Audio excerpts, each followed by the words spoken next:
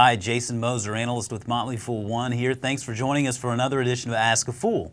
Today we're taking a question from El Ramirez who asks, how can an investor see when we're in a bubble? and it's certainly easier to see it after it pops, but there are also things to look for.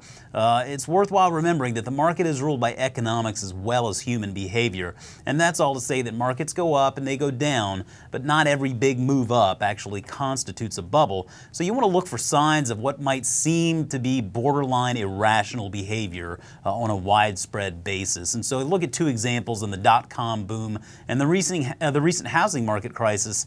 The dot-com boom, for example, gave us some great companies. Amazon really has made it through okay there, uh, but it also it resulted in a lot of money that was lost forever. Uh, there's a lot of speculation uh, going on during that time with nothing to really back it up.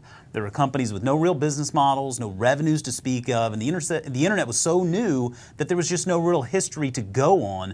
Uh, and if you look at that dot-com peak, when the NASDAQ peaked around 5,400 points then, just for context, the NASDAQ is around 4,000 today. So you can see the times uh, back then were certainly very optimistic, and, and I think irrationally so.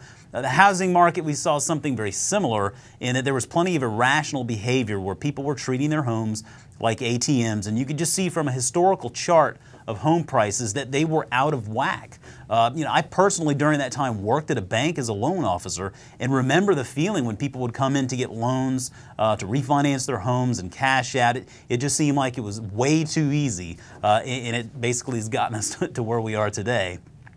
Another example you can see in the present day, I think, is the speculation with Bitcoin. Uh, who knows really where Bitcoin's going to go, but it's certainly making the headlines every day.